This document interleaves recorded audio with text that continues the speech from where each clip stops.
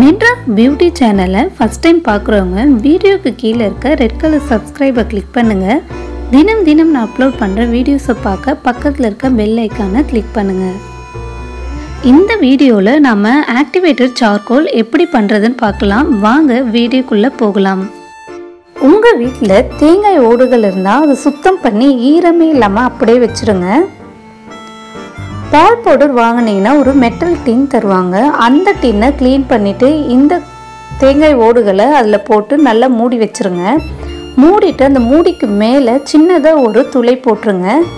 இந்த துளை போட்டதுக்கப்புறம் உங்கள் வீட்டில் அடுப்பு இருந்தாலும் சரி கேஸ் இருந்தாலும் சரி இதை அப்படியே ஹீட் பண்ணுங்கள் இந்த ப்ராசஸ் எப்போ கம்ப்ளீட் ஆகும்னு பார்த்தீங்கன்னா மூடிக்கு மேலே நம்ம ஒரு துளை போட்டோம் இல்லையா அந்த துளை வழியே புகை வந்துட்டே இருக்கோங்க.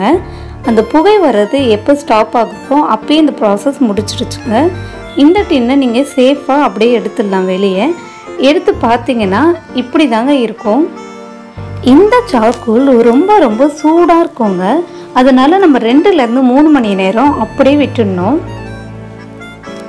மூணு நேரம் கழித்து பார்த்தீங்கன்னா சூடெல்லாம் ஆறி கூலாக இருக்குங்க. இது அப்படியே நம்ம வீட்டில் இருக்க நார்மல் டேப் வாட்டரில் நல்லா வாஷ் பண்ணிவிடுங்க வாஷ் பண்ண அந்த சார்கோலை எடுத்து மிக்சியில் அப்படியே அரைச்சிருங்க. மிக்சியிலனா இடித்து கூட வச்சுக்கலாங்க. இப்போ இதில் பார்த்தீங்கன்னா தண்ணியாக தாங்க இருக்கும். இது இருபத்தி நாலு மணி நேரம் அப்படியே வெளியே வச்சிடணும். காற்றுல இது ஆறிடுங்க. இருபத்தி நாலு மணி நேரம் கழித்து பார்த்தீங்கன்னா இப்படி தான் பவுடராக இருக்கும். இப்போ ஒரு சின்ன பவுல் எடுத்துக்கோங்க. ஒரு டேபிள் ஸ்பூன் எடுத்துக்கோங்க. அந்த பவுடரை இந்த பவுலில் அப்படியே போட்டுருங்க. மூணு டேபிள் ஸ்பூன் எலுமிச்சை சாறு ஒன்பது டேபிள் ஸ்பூன் தண்ணீர். இந்த ரெண்டுமே நல்லா மிக்ஸ் பண்ணிக்கங்க.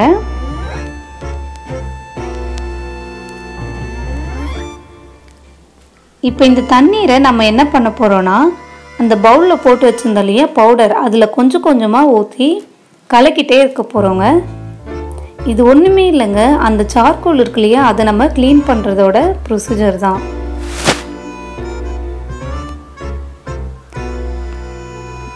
இந்த கட்டி கட்டி மாதிரி இருக்கும் இல்லையா? அதெல்லாம் எதுவுமே இல்லாமல் நல்லா கலக்கி விடுங்க. கலக்கிட்டு ஒரு மூடி போட்டு அப்படியே இருபத்தி நாலு மணி நேரம் வச்சுருங்க இருபத்தி நாலு மணி நேரம் கழித்து பார்த்தீங்கன்னா இப்படி தாங்க இருக்கும். தண்ணியெலாம் மேலே வந்திருக்கும். இந்த தண்ணீரை நம்ம அப்படியே வடிகட்டிடணும்.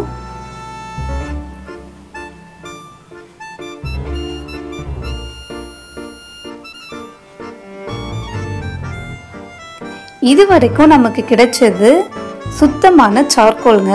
இனிமேல் தான் நம்ம அந்த சார்கோலை ஆக்டிவேட் பண்ண போகிறோம் ஆக்டிவேட் பண்ணுறதுக்கு அதே மாதிரி ஒரு மெட்டல் டின் எடுத்துக்கோங்க. நல்லா சுத்தமான மெட்டல் டின் எடுத்துக்கோங்க.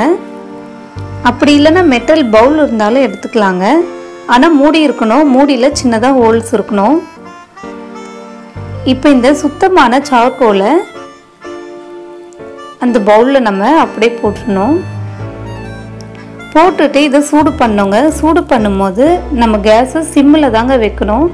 சிம்மில் வச்சு மூணு மணி நேரம் அப்படியே விட்டுடணும் மூணு மணி நேரம் கழித்து பார்த்தீங்கன்னா நம்மளோட சார்கோல் ஆக்டிவேட் ஆகிடுச்சுங்க இது தாங்க ஆக்டிவேட்டட் சார்கோல் இந்த சுத்தமான ஆக்டிவேட்டட் சார்கோலை நாம் சலிக்க போகிறோங்க உங்கள் வீட்டில் சல்லடை இருந்தால் சலிச்சுக்கோங்க நம்ம வீட்டிலேயே பண்ண சுத்தமான ஆக்டிவேட்டட் சார்கோல் ரெடி என்னோட வீடியோ பிடிச்சிருந்தா ஷேர் பண்ணுங்க லைக் பண்ணுங்க மறக்காம மெட்ராஸ் பியூட்டி சேனலை சப்ஸ்கிரைப் பண்ணுங்க.